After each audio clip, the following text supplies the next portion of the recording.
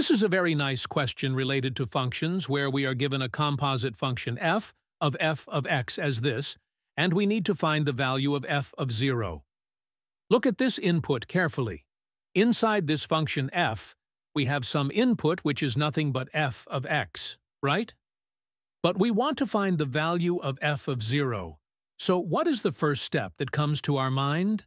Yes, right. We need to equate f of x to 0. But hey, there's a problem here.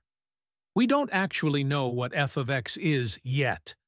The question only gives us f of f of x, but it never tells us the direct formula for f of x. So, we can't just plug in the f of x equal to 0 directly. Instead, we have to work smartly. We'll use the given information and maybe start by substituting some simple values for x, like 0 or 1. So, as a first step, let k denote the number that equals f of 0. Now, do one thing. In this equation, substitute the value of x as 0. What do we get? we get f of f of. This x becomes 0, and that equals 0 square minus 0 plus 1, which simplifies to 1. So we conclude that f of f of 0 equals 1. But hey, this inside f of 0 is simply equal to k, so this means that f of k equals 1. Now let us try to do something interesting. Substitute x as k in this equation. The left side becomes f of f of k, and the right side becomes k square minus k plus 1. We are doing this so that somehow we can find an equation in terms of k, and later solve for k to get f of 0. But hey, f of k is simply 1, and thus the left side becomes f of 1 equals this.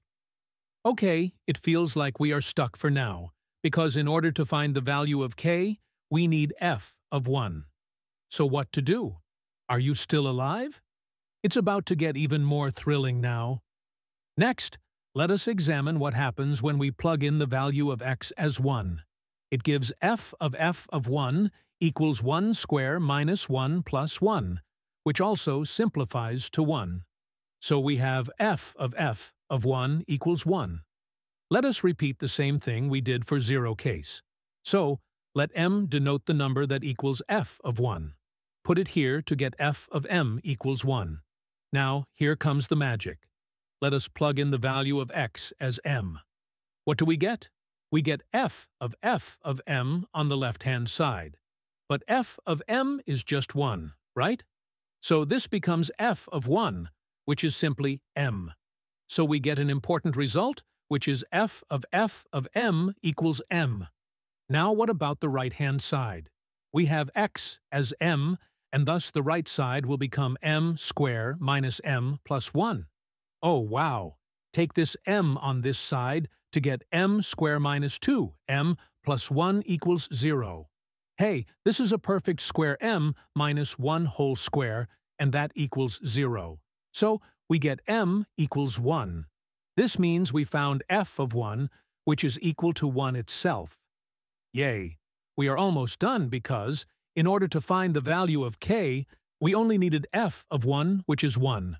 So substitute it here to get k square minus k plus 1 equals 1. 1 cancels out, and we are left with k squared minus k equals 0. Take k as common to get k, times k minus 1 equals 0. This means either k equals 0 or k equals 1 and you might think that we are done. Since k equals f of 0, this means f of 0 is 0 and 1. This means we have two different values of f of 0. But here's the twist. That can never happen because a function has to be well defined, which means if you have one input, then it cannot have more than one output. This is not valid. Therefore, this means that f of 0 is either 0 or 1, but not both. Suppose we have f of 0 as 0. Put x equals 0 in this equation.